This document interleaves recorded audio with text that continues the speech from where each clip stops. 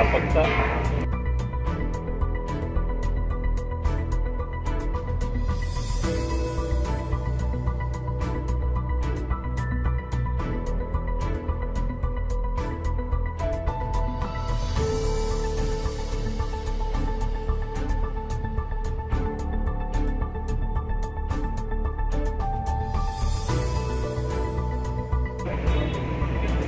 देखते हुए ऐसा तय किया है कि 24 तारीख मतलब परसों,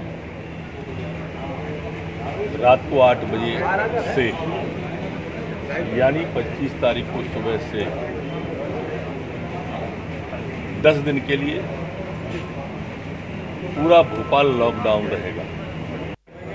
व्यापकता को देखते हुए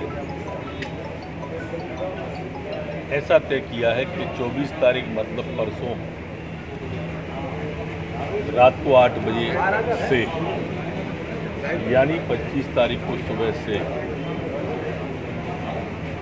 10 दिन के लिए पूरा भोपाल लॉकडाउन रहे।